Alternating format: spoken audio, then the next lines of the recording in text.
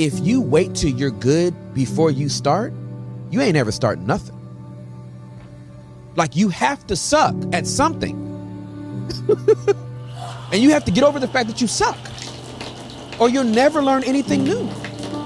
And so so I think part of uh, this, this happens with believers a lot. But but we we want to come out the gate good. Instead of coming out of the gate with God. We want to come out the gate with our good instead of coming out of the gate with our God.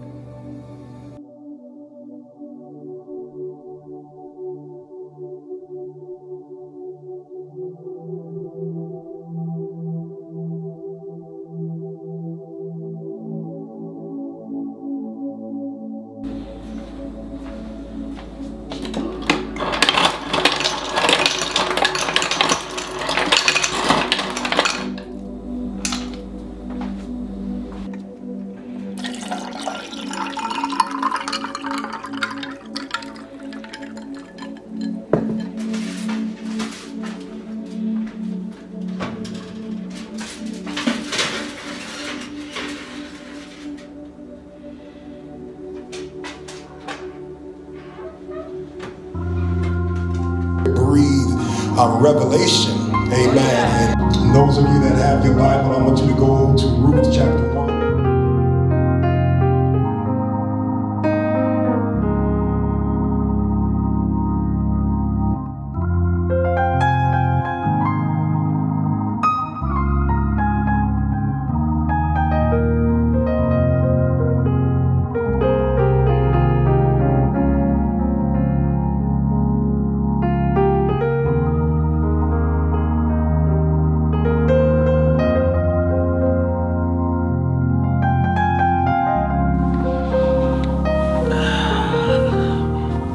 Know what I'm starting to realize is trauma can have an influence on how you behave, how you move in, in certain areas of your life, how you communicate with certain people, just how you are. It takes a very strong individual to decide, okay, I'm going to go get the help. I'm going to seek God's guidance.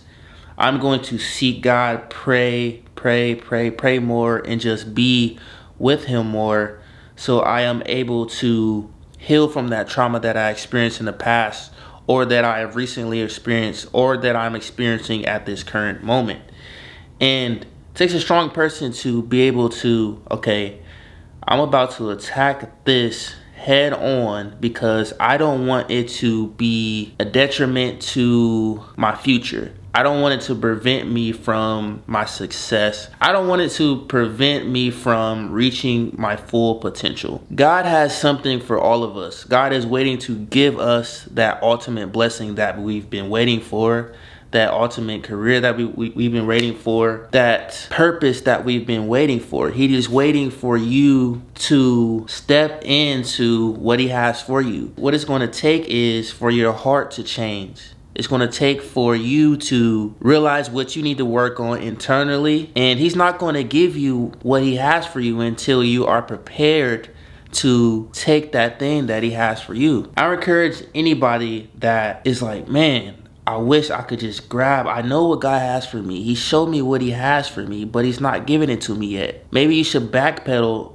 and look internally and look, okay, what are what are the things that I need to work on? What are the things that God is trying to do in me to get me to that point to where I am able to receive what he has for me. Dear Heavenly Father, it's going to take a supernatural push from you to get us all to realize that we must change our heart before we are able to receive the blessing that you have for us. The blessing that you have for us is something that we've been waiting for for a very long time and that we are willing to do whatever it takes to get that blessing that you have for us. God, I ask that you show us what we need to work on internally so we are able to walk towards you, towards what you have for us, towards what you want for us, towards the purpose that you have for us. And God, please if anyone is dealing with any anxiety, depression, suicidal thoughts, or anything that is controlling their mind, the battle of their mind, the war on their mind, Lord God,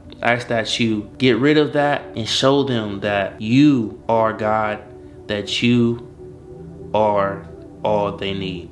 In Jesus' name, amen.